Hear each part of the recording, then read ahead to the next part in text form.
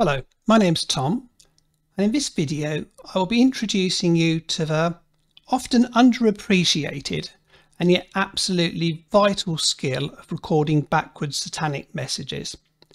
So I'll start off with just a bit of dialogue I recorded. All hail the great Lord Satan. Click like and subscribe. Now I should say that there are absolutely no subliminal messages in this at all and that any sudden desire you feel to click like and subscribe is entirely coincidental. So to start with, what I'll do is I'll go to File, Project Settings, and I'm going to halve the speed.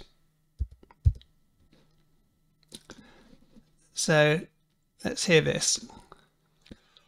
All hail the great Lord Satan. Click like and subscribe. Okay, next I'm going to go to Effects. I'm going to go to ReaPitch and I'm just going to draft on, on the octaves here. I'm going to drop it to minus one. So try that.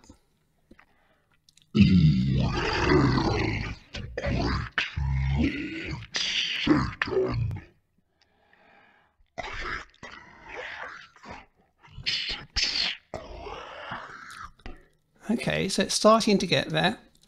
Now I'm going to go to reverb. And on here, I'm just going to use a preset. I'm going to use Sweet Verb. Verbo here. So we'll play that.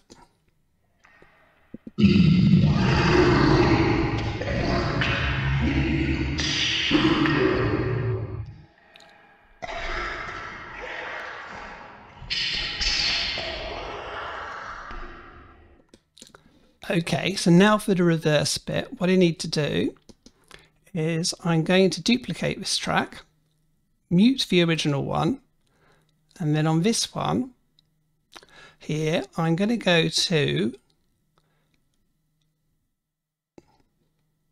reverse item as new take. So actually you can see it's done it to both. So what I'm going to do is I'm going to go to take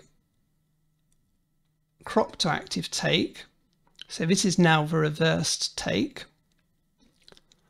And we'll play this, see what it sounds like.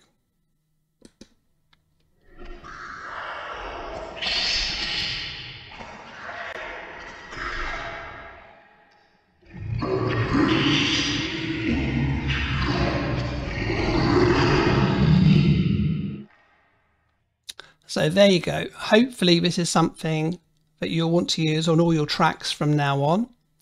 So yeah, thanks for watching. Cheers. Bye.